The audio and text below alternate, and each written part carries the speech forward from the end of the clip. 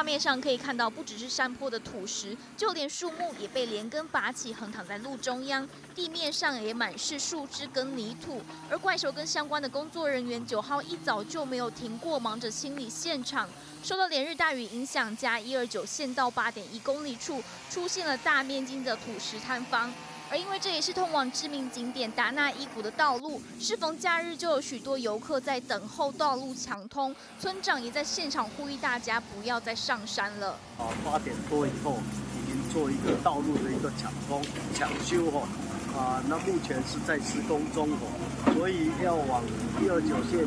往南山村的啊村民哦啊要特别注意啊，这个路段是完全哦啊啊封锁。边同样受大雨影响，南横公路力道至新武的路段也在上午发生了三处坍方，落实阻断双向道路，工段人员紧急派遣机具前往清理，也盼望在下午能够尽快抢通。